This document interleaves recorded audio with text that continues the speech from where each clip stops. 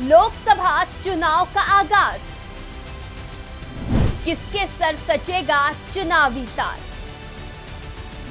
जनता खोलेगी सरकार के राह निष्पक्ष होगा आम चुनाव। या फिर ईवीएम पर उठेंगे सवाल? जनता की क्या है चुनाव पर राय? भ्रष्टाचारियों को वोटर कहेंगे बाय बाय। रोज़गार और विकास की होगी बात। या मंदिर मस्जिद तय करेंगे हालात।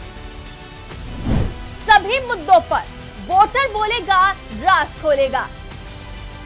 देखिए हमारा खास शो सिर्फ़ आज की खबर पर।